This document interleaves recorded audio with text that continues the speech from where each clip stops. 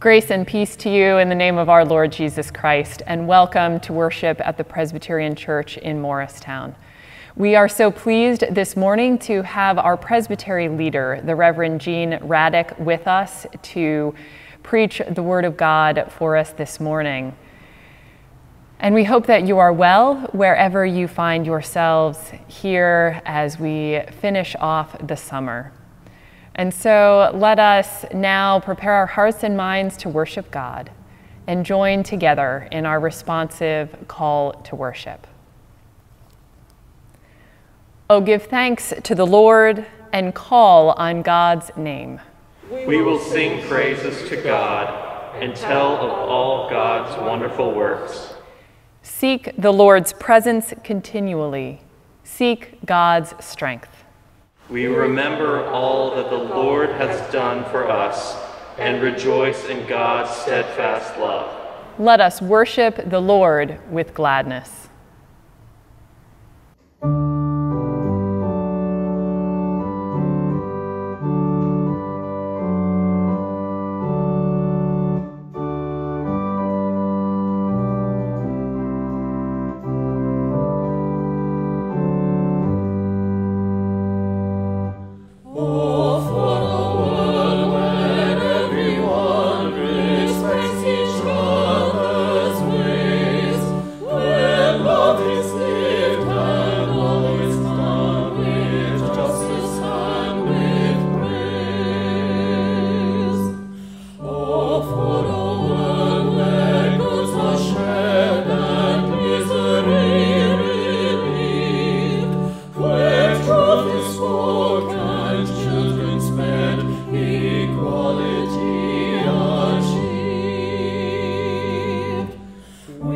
welcome.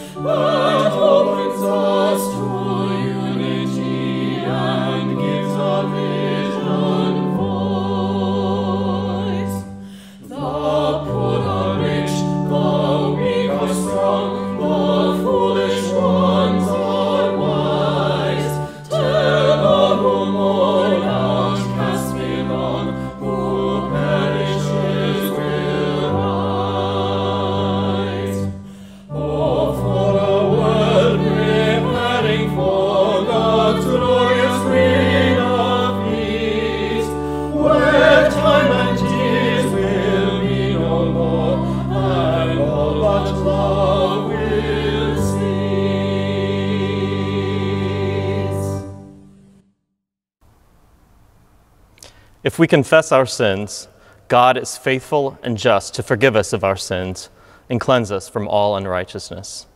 Let us join together in our unison prayer of confession. Merciful God, we confess that we have tried to hide from you, for we have done wrong. We have lived for ourselves and apart from you. We have turned from our neighbors and refused to bear the burdens of others. We have ignored the pain of the world and passed by the hungry, the poor, and the oppressed. Blind us with the light of your truth and grace. Free us from our past and open us to a future grounded in your ways and filled with your love. Through Jesus Christ, our Savior. Amen.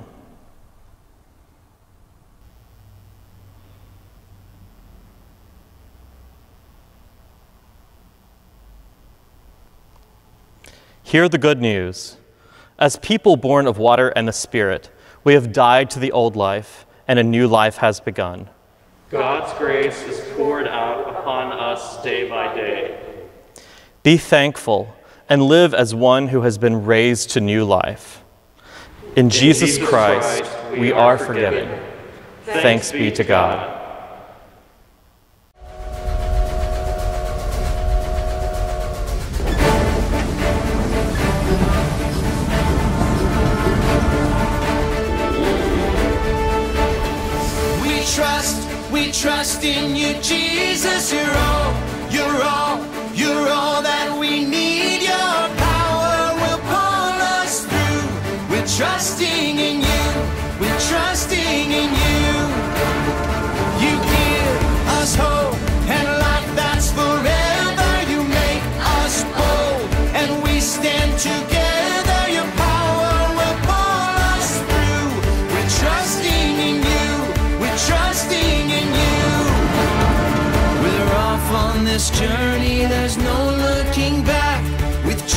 Jesus to lead us, we're on the right track. Oh, oh, oh, oh, oh. Wide open spaces for wide open eyes. We're looking ahead for the next big surprise. Oh, oh, oh.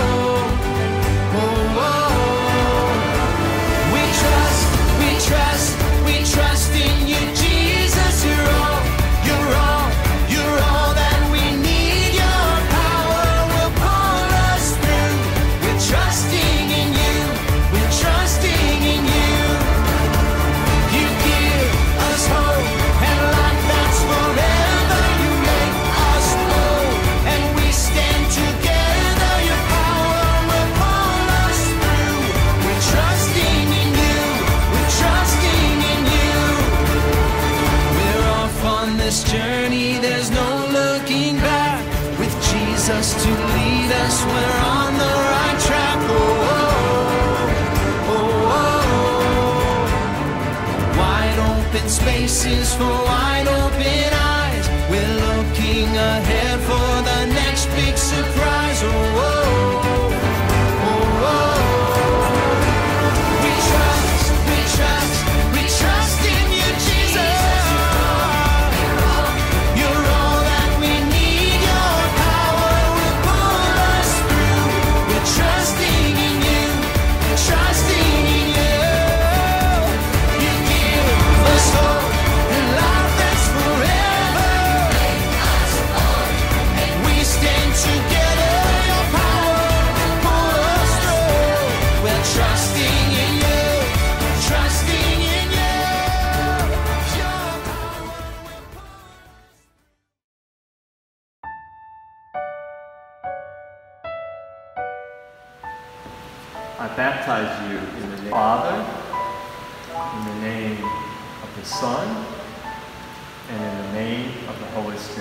And know that you are a child of the covenant, sealed in God's grace, and marked for all eternity. Great job.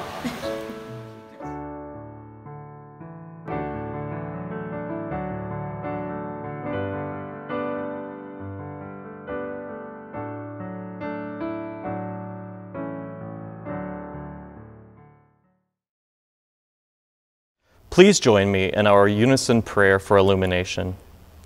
Pour out your Holy Spirit, O God, and prepare our hearts to accept your word. Silence in us any voice but your own, that hearing we may also obey your will. Through Jesus Christ our Lord. Amen. Our scripture reading for today is Exodus chapter 14, verses 15 through 31. Then the Lord said to Moses, Why do you cry out to me? Tell the Israelites to go forward. But you lift up your staff and stretch out your hand over the sea and divide it, that the Israelites may go into the sea on dry ground. Then I will harden the hearts of the Egyptians, so that they will go in after them. And so I will gain glory for myself over Pharaoh and all his army, his chariots and his chariot drivers.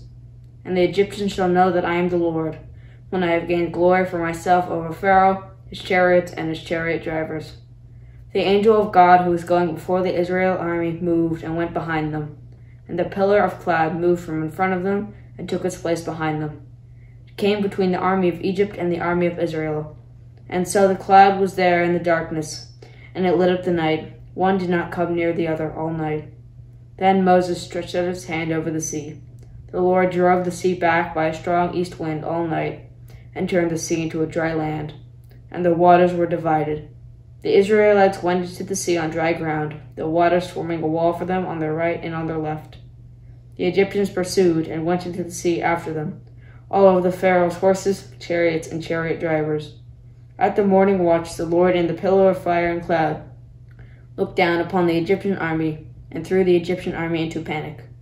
He clogged their chariot wheels so that they turned with difficulty. The Egyptians said, Let us flee from the Israelites, the Lord is fighting for them against Egypt.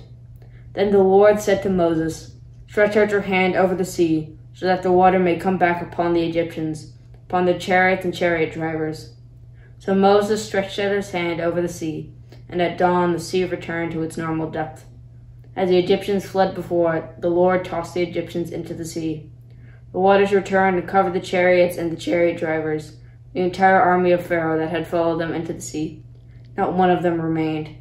But the Israelites walked on dry ground to the sea, the waters forming a wall for them on their right and on their left. Thus the Lord saved Israel that day from the Egyptians, and Israel saw the Egyptians dead on the seashore. Israel saw great work that the Lord did against the Egyptians. So the people feared the Lord and believed in the Lord and his servant Moses. This is the word of the Lord. Thanks, be to God. Our New Testament reading comes from the book of Acts, chapter 9, the first 19 verses. Listen now for the word of God. Meanwhile, Saul, still breathing threats and murder against the disciples of the Lord, went to the high priest and asked him for letters to the synagogues of Damascus so that if he found anyone who belonged to the way, men or women, he might bring them bound to Jerusalem. Now, as he was going along and approaching Damascus, suddenly a light from heaven flashed around him, and he fell to the ground, and he heard a voice saying to him, Saul, Saul, why do you persecute me? He asked, Who are you, Lord? And the reply came, I am Jesus whom you are persecuting. But get up and enter the city, and you will be told what you are to do. The men who were traveling with him stood speechless because they heard the voice but saw no one. Saul got up from the ground, and though his eyes were opened, he could see nothing. So they led him by the hand and brought him into Damascus. For three days he was without sight and neither ate nor drank. Now there was a disciple in Damascus named Ananias. And the Lord said to him, Ananias. And he answered, Here I am, Lord. And the Lord said to him, Get up and go to the street called Straight, and at the house of Judas, look for a man of Tarsus named Saul. At this moment, he is praying, and he has seen in a vision a man named Ananias come in and lay his hands on him so that he might regain his sight. But Ananias answered, Lord, I have heard from many about this man, how much evil he has done to your saints in Jerusalem. And here he has authority from the chief priests to bind all who invoke your name. But the Lord said to him, Go for he is an instrument whom I have chosen to bring my name before Gentiles and kings and before the people of Israel. I myself will show him how much he must suffer for the sake of my name. So Ananias went and entered the house, and he laid his hands on Saul, and he said, Brother Saul, the Lord who appeared to you on your way here has sent me so that you may regain your sight and be filled with the Holy Spirit. And immediately something like scales fell from his eyes, and his sight was restored. Then he got up, was baptized, and after taking some food, he regained his strength. This is the word of the Lord. Thanks be to God. Recently, someone lamented that as the fall approached, we believed that we all would be somewhere normal or near normal by the time we got to Labor Day. But yet, as we enter into this fall season, we are not anywhere near where we imagined or hoped we would be when we started this pandemic. We are still in the midst of a pandemic. We are in a transition. We are in chaos or craziness or whatever words you use to describe life right now, it feels like there is no light at the end of the tunnel. There is no sense of an end and maybe no feeling of moving forward in our journey. The Reverend Susan Beaumont, author and church consultant, in her recent book called How to Lead When You Don't Know Where You're Going, names this experience as a liminal season or a liminal space or even a liminal experience. That is that liminal space or liminal experience is that place where you feel stuck at the threshold between an ending and the start of a new beginning. Liminal seasons are those times and places where we feel like we can see where we're going, but not quite. It's like a fog. We can see a pattern or something familiar, but not really. It's a place of bewilderment, a place of wonder, anxiety, awe, creativity, and fear all at the same time. Our Old Testament scripture is the story of Exodus, and it's the wandering in the wilderness. And liminal experiences have often been described as wandering, but, but not knowing where you're going. Now, any story of the Exodus uh, would have worked to illustrate liminality or a liminal experience, but I picked the crossing of the Red Sea. The Hebrews had left something very familiar. Uh, it may not have been a satisfactory thing they left, but in a sense, uh, it was still familiar. And they left in a hurry to go to the promised land. Now, they didn't know where they were going. And at first, the journey was very joyful and jubilant and celebratory. They were excited that they were finally leaving Egypt. But then the reality set in that the Egyptian army was following them, and then there was chaos and panic and a sense of loss of direction. So God directed Moses to a particular place, and there Moses parted the Red Sea, and the Hebrews crossed over leaving the Egyptian army to drown or to be separated from them by the water. And when the Hebrews got to the other side, they entered a liminal season. They did not know where they were going, nor how, how to get through there or where they even were, and nor could they turn back.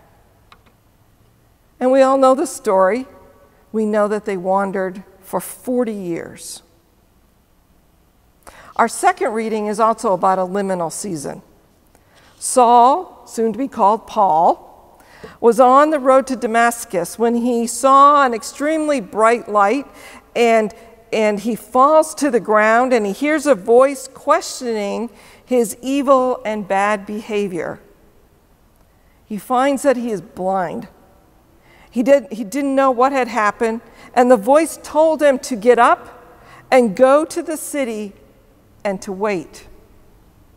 So, what was that about?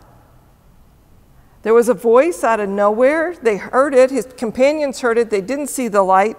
And this voice says, Go to the city and wait. And that was the beginning of Paul's liminal experience. He was at the end of one thing and told to wait for the beginning of the next. His beginning of his liminal season was very quick and very dramatic. Now, Ananias, a disciple living in Damascus, was told in a vision to go to this man and to lay hands on him. And he was even given a very specific address to where to go. Ananias knew this guy and he argued, This is not a good idea. Yet, he goes, not knowing what will happen or if he will come home. So, Paul and Ananias find themselves in a place they did not know or did not understand. It was not by choice, and it was very quick, very dramatic. And the future, the next steps, were very unclear. For Paul, this was a literal darkness. For Ananias, there was uncertainty. For both, they had heard the call of the Lord to something new. And with that call, there is that sense that some sort of light, some sort of way out of the season of uncertainty and fear, but they did not know and they did not choose to be there. Since March, the church, our communities, our families, ourselves are living in a liminal season. We do not know how long it's going to last. We do not know how to get out of it. And for this congregation, it is a multi layered liminal experience by adding that now there is a search for a new pastor. So often I've been asked, what do we need to do to move through this time of uncertainty? Well, processes and protocols are not the paths out of the liminal season. There are no checklists, there are no best practices, there are no playbooks on how to find our way out. Liminal experiences mean you do not know how to journey through the season. We can, however, look to our Bible stories, our biblical stories, as, as possibly some guides. And what we learn from those uh, readings today is that we have options. One option is we can wander in the liminal wilderness as a community, seeking what the world will be on the other side of the transition and the pandemic. Or another option is we can grab hold of an opportunity and answer God's call to something new, something different, scary, and exciting, and definitely unknown. Both are options. If we choose to wander and dwell in the wilderness, in the liminal wilderness, let's do it with purpose.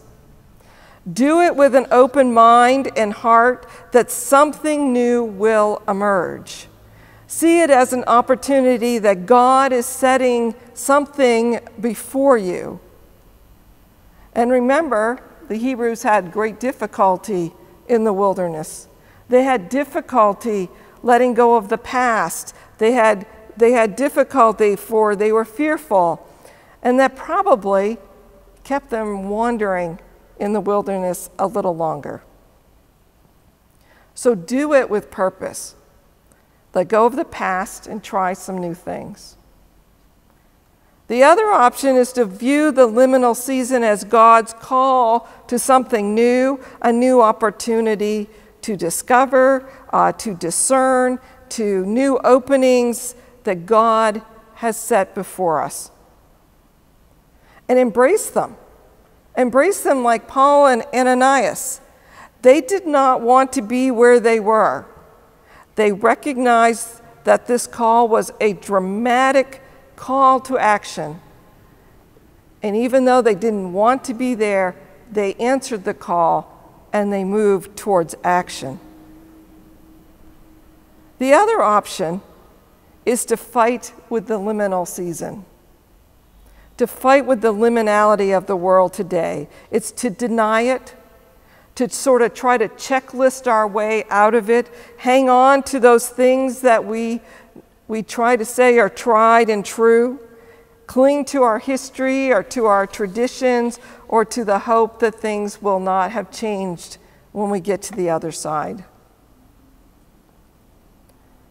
Beaumont shares that during the liminal season, when we find ourselves as a community in a liminal place, there are elements of the journey that sustain us and help us to shape and dwell in the experience until we find the other side.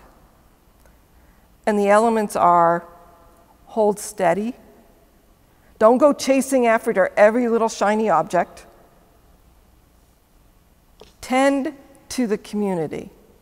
And as she says, don't just tend to the community, tend to the soul of the community. Seek and discover and discern what God is up to. What is God's call to us in this time and place. Shape memory and history by sharing our true stories, not the ones that make us look and feel good but the stories that truly shape the life of the community. Clarify purpose. Clarify the purpose in this time and place. Not the purpose that was six months ago, but the purpose that we are in now. And last, engage with the emergence because we will come out, but we'll come out in a different place. Don't wait to let it happen. Engage in where we are going. In this liminal season, in this time of fog and uncertainty, the community has options. You can wait and do nothing and, and wait until the fog has lifted. You can wander in the wilderness seeking and learning where God is leading. Or you can answer God's call to something new and different and creative. For all the glory is God's. Amen. Do not worry about anything, but in everything, by prayer and supplication, with thanksgiving, let your requests be made known to God.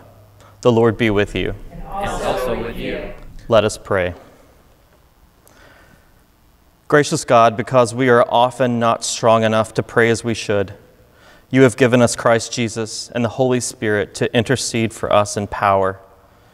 In this confidence, we ask you to accept our prayers.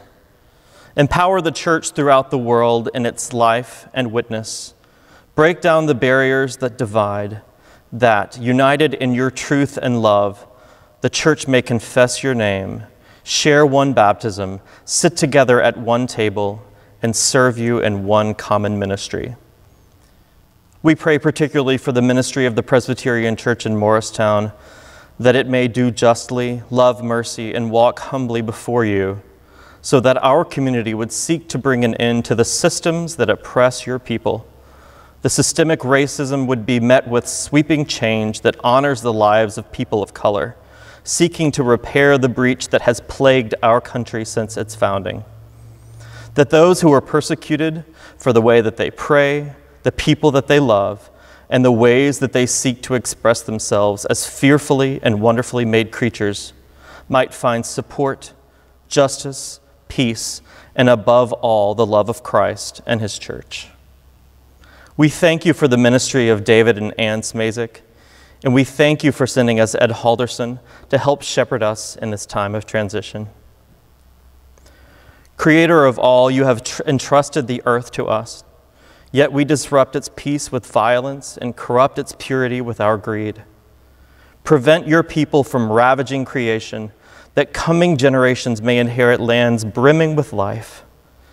Make us more cognizant of the resources that we have and how we use them, so that we might work towards a more perfect world in the age to come. Sovereign God, from the streets of Portland to the streets of Kenosha to the Morristown Green, may your justice flow down like waters and righteousness like an ever flowing stream. We see so much in our world that is not right, that is not inspired by love, that does not seek to edify all of your children. Our hearts ache with grief over the lives lost through the senseless killing of our brothers and sisters, particularly those who are targeted and violently taken from us because the color of their skin. May words of protest not fall upon deaf ears, God as we pray for you to open our hearts, our minds, and our ears to the cries of those around us. May your peace flood a nation embroiled in division, anger, and a sense of self preservation that engenders xenophobia, patriarchy, and white supremacy. Fix us, Jesus, for our home on high. Oh, fix us. We pray for our President Donald, our Governor Philip, our Mayor Timothy, and all others who create and enforce the laws and policies of this land. In the days that lead up to our election, may you move in the hearts of your people as they consider whom they should vote for to lead us in the future. We ask that you would unite our country in justice and liberty that seeks the freedom and equity of all people. We pray for those who have suffered loss this week, particularly for the family of Carl Cronin, a longtime member of this church, that you would wrap your arms around his family and that they may know that you are with them. We pray for those who are suffering with illness, for those who are suffering with COVID 19, for those who continue to endure the way that that disease has raged their bodies. We pray for healthcare workers for EMTs, nurses, and doctors, even within our congregation, who put themselves in harm's way each day as they seek to bring healing and comfort to our world.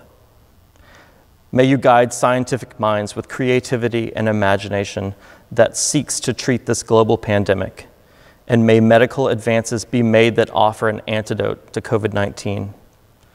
We pray for the mental and emotional health of all of those around us that you may quell the anxiety and panic that can paralyze minds and bodies.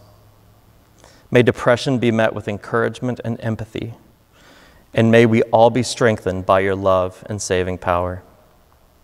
We pray for those who have been affected by the hurricanes that have decimated areas of the Gulf. May communities like ours respond to the need of our brothers and sisters whose lives have been swallowed up into the waves.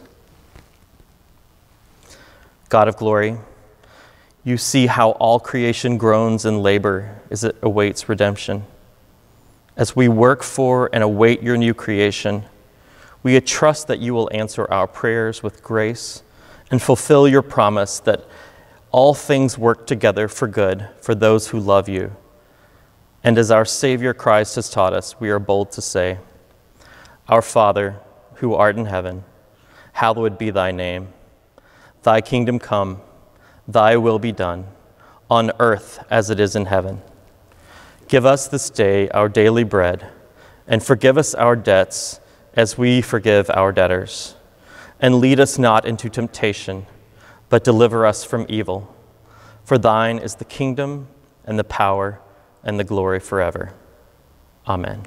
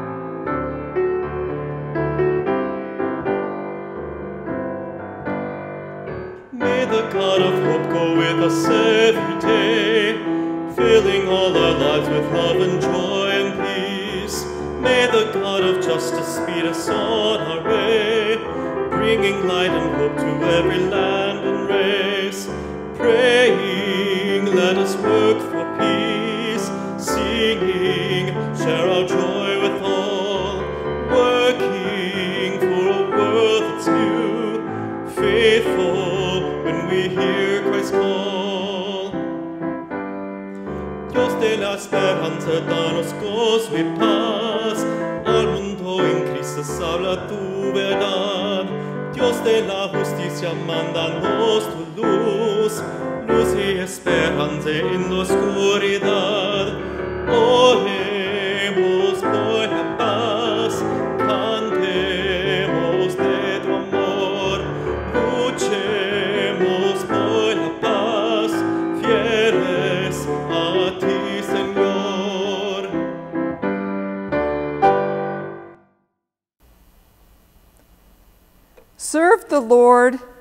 Places you find yourself. Know God is with you. Now may the grace of our Lord Jesus Christ, the love of God, and the fellowship of the Holy Spirit be with you now and forevermore. Amen.